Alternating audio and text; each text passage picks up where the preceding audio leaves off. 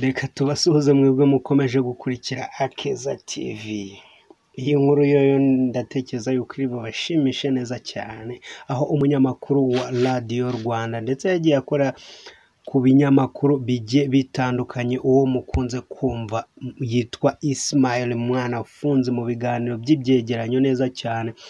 Uwo mukobwa rero w'icyuki w'icyuma uwo nguwo ni we agiye kuba yabasha kwibikaho kugira ngo amubere umufasha.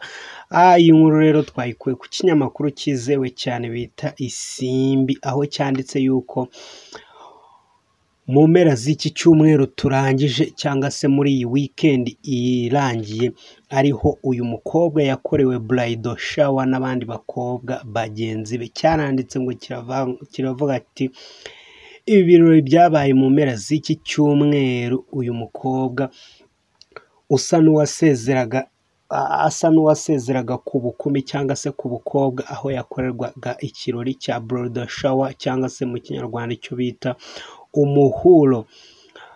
Mu mpapuro z'ubutumire rero z'ubu bukwe bwa Ismail mwanafunzi muzi kuri radiyo rwanda ndetse abantu benshi mwifuza kuba mwanabona wenda tuzanaboneraho kubereka amafoto yewe.